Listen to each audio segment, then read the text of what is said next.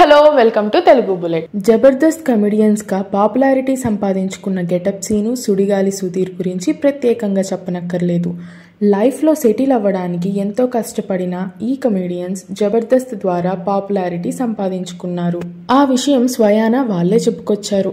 కాగా జబర్దస్త్లో జాన్ జిగిడి దోస్తులు ఎవరైనా ఉన్నారు అంటే అది ఖచ్చితంగా గెటప్ సీను సుడిగాలి సుధీర్ రాంప్రసాద్ అని చెప్పాలి.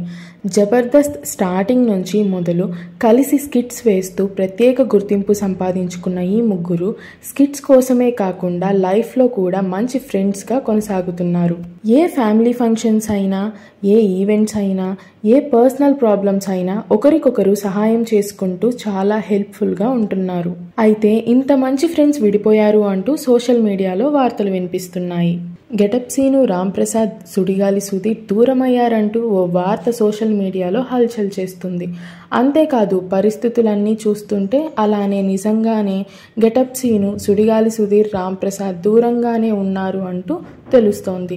అయితే అలా దూరంగా ఉండడానికి కారణం జబర్దస్త్లో ఉండే ఓ లేడీ అంటూ జనాలు చెప్పుకొస్తున్నారు. రామ్ ప్రసాద్ హెల్త్ బాగోలేనప్పుడు గెటప్ సీను సుడిగాలి సుధీర్ ఆయనకు డబ్బు పరంగా హెల్ప్ చేశారని ఆ డబ్బును ఆ లేడీ దగ్గర నుండే అప్పుగా తీసుకున్నారని అయితే అప్పు తిరిగి ఇవ్వాల్సిన టైంలో సుడిగాలి సుధీర్ గెటప్ సీను మధ్య గొడవలు మొదలయ్యాయని ఆ కారణంగానే వీళ్ళు దూరంగా ఉన్నారంటూ తెలుస్తోంది.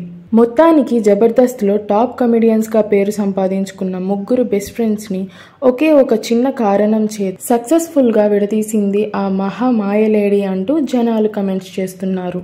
అంతేకాదు మళ్ళీ వీళ్ళు కలిస్తే చూడాలి అంటూ ఫ్యాన్స్ రిక్వెస్ట్ చేస్తున్నారు. చూద్దాం మరి గెటప్ సీను సుడిగాలి సుధీర్ రామ్ ప్రసాద్ ఈ విషయంలో ఏ విధంగా స్పందిస్తారు. Thanks for watching. Please do like share and subscribe our channel Telugu bullet.